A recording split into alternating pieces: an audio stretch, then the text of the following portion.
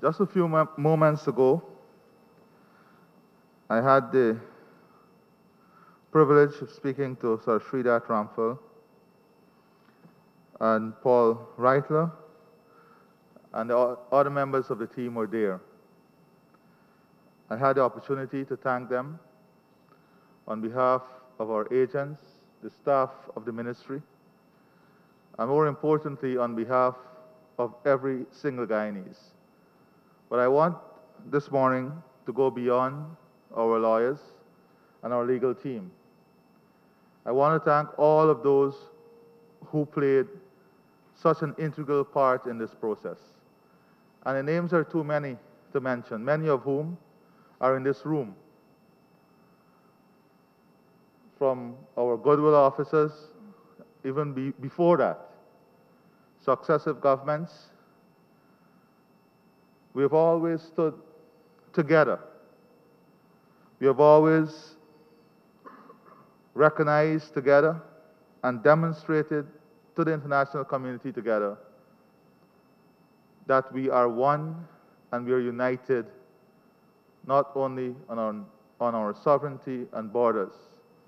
But today, I think this victory, which is no small victory, this victory is testimony to what we can achieve as a people when we're united.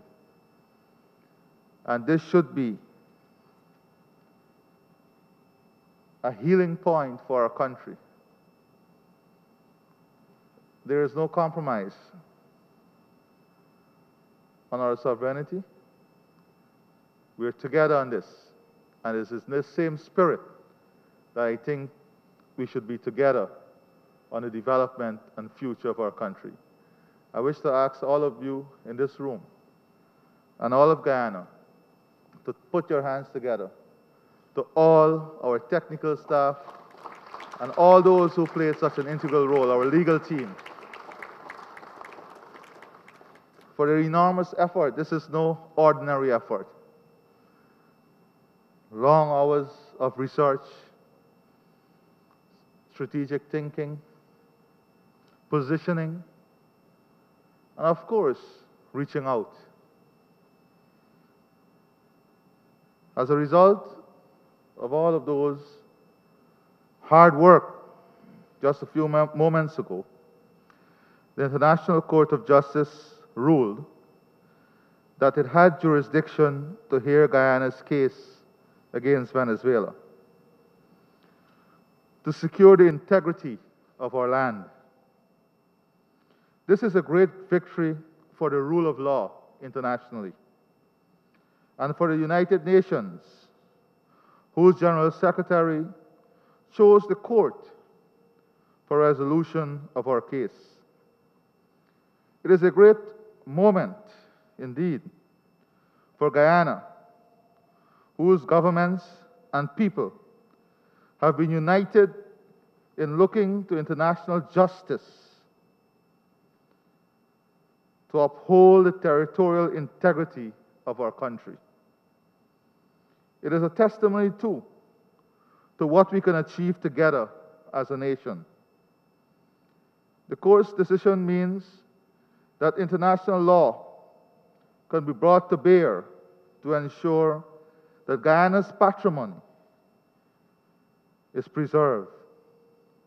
The law of nations can be allowed to prevail in the face of efforts that point in other direction. As a result of today's ruling, the court will now proceed to hear the merits of the case. It will decide and judge on Guyana's claim that the arbitral award of the 3rd of October 1899 permanently fixed the boundary with Venezuela, and it remains legally valid and binding on both Venezuela and Guyana. It is to that phase of our case that we now bend our will in unity as a nation and with conviction in the rightness of our cause. I express the hope now that the court has ruled decisively in favor of its jurisdiction to rule on the merits that our neighbors will consider participating fully in the proceedings. I thank all of Guyana and all beyond Guyana who continue to help our just case and cause. And I do so on behalf of our team here locally and all Guyanese. Today, our common cause is to continue to support this team. Our common cause is to continue to bring international attention to our case. As my good friend, former Minister of Foreign Affairs, Carl Greenidge, our agent, the Minister of Foreign Affairs, previous governments, leaders, previous presidents would have all said our greatest strength is when we are united. Our greatest hope is when we are united. The best we can achieve in the future must be and will be when we're united. This case is just but an example of that unity. So today, I ask Guyanese all across our beautiful country, here and in the diaspora, to take a few moments from your busy schedule, reflect, and remember all the players who would have brought us thus far. And understand that the collective work of our lawyers and our own has delivered to us today a victory that paves the way for a full and complete settlement of our border controversy with Venezuela. I, ha I have no doubt that our just cause and our just case will bear fruit. But as Carl said, it's in the realm of the court, and we will not go beyond that.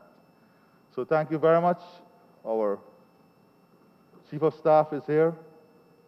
Our command, our commissioner, and I want the chief of staff also to express our thanks to the men and women in uniform who are out there ensuring that our land and our sovereignty is not breached and protected. To all Guyanese, to all those who play such a key role, the staff of the ministry, members of parliament, our lawyers, may God bless you, and I thank you very much.